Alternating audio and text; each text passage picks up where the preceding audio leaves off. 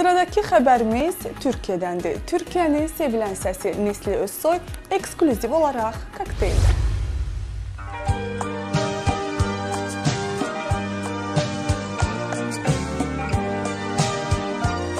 Türk dünyasının sevilen sesi Nesli Özsoy yeni albumunun müjdesini verdi. Benim eski albümlerim var. Daha önce yapmış olduğum. Ben şu an onlardan en sevdiğim parçaları tekrar okumak istiyorum. Tekrar yapmak istiyorum. Onlarla uğraşıyoruz şu anda. Bir damla sevgiye karardı gönlüm Nesli Özsoy sevilen mahnılarıyla yeniden Bilemedim ki kalbinde bir yerin olsa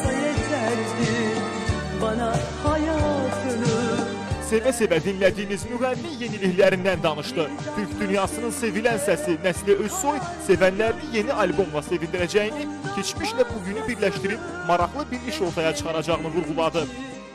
Nesli'yle biz çok eee, uzun güzel çalışmalar yapmıştık bir süre içinde ve o çalışmaların devamı niteliğinde ve o dönem şarkılarının tekrar restorasyonuyla ilgili belki eee, ve şiddetle istiyoruz tabii kendisini ikna edersek eski aranjörümüz Oğuz Abadan da düzenlemeler yapacak. Eee, eski albümde olan bazı şarkıları tekrar restore edip kullanacağımız gibi yeni şarkılar da olacak. Ee, Kendisinin de eski bir şarkısı var albümümde. istemedik. Çok sevdiğim bir parçaydı. Mutluluğu aşkına karşılık gören Ama şu anda yeni parçalar da hazırlıyor. Şarkıya da zaten yeni bir düzenleme yapacağız. Yani Oğuz Abadan tabi tabi tabi tabi yani senin için hazırladım. Her zaman köşede tuttum. De inşallah çok güzel şeyler yapacağız. Bakın bu işte Nesli Hanım'a kim destek olacak? Yavuz Çuhacı illerin təsir etmədiyi, daha da sıx bağladığı dostluq onları yenidən birləşdirdi.